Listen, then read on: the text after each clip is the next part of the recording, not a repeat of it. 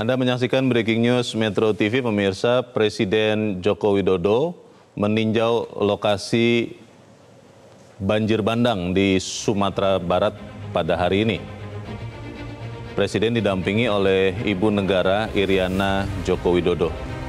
Dan Presiden Jokowi saat ini sudah tiba di Kabupaten Agam, Sumatera Barat.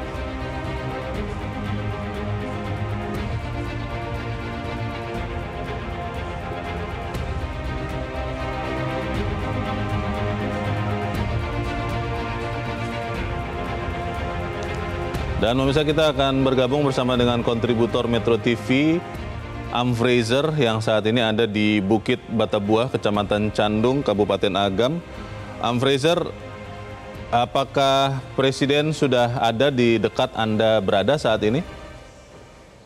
Ya, uh, Presiden sudah berada di lokasi saat ini sedang uh, melihat presentasi dari PUPR uh, terkait uh, kondisi bencana atau uh, infrastruktur yang rusak di daerah Sumatera Barat. Saat ini sedang ada pemaparan dari PUPR. Baik, kami melihat di gambar Anda nih sekarang uh, Am Fraser memang uh, agak jauh ya uh, lokasi Presiden yang Anda katakan sedang mendengarkan pemaparan dari Kementerian uh, Pekerjaan Umum dan Perumahan Rakyat apa yang uh, menjadi target utama kehadiran Presiden pada hari ini di lokasi uh, banjir bandang ini, Am? Ya, uh, target utamanya pertama adalah uh, menyaksikan secara langsung lokasi uh, yang menjadi uh, banjir lahar kemarin. Nah, seperti apa yang sesungguhnya terjadi di lapangan.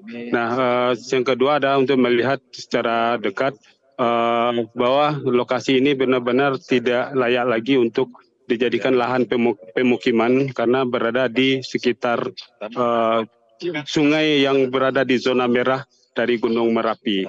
Nah, uh, selain itu tentu saja fokus ke depannya adalah relokasi uh, warga atau relokasi pemukiman masyarakat yang ada di sekitar pelantaran sungai Batang uh, Kacia ini ke lokasi yang baru sehingga lokasi ini benar-benar uh, sudah disterilkan baik untuk pemukiman masyarakat maupun untuk kegiatan masyarakat. Nah, uh, saat ini sedang dilaksanakan pemaparan uh, masih berlangsung dan disaksikan langsung oleh uh, Presiden beserta rombongan. Leonard. Jelajahi cara baru mendapatkan informasi. Download Metro TV Extend sekarang.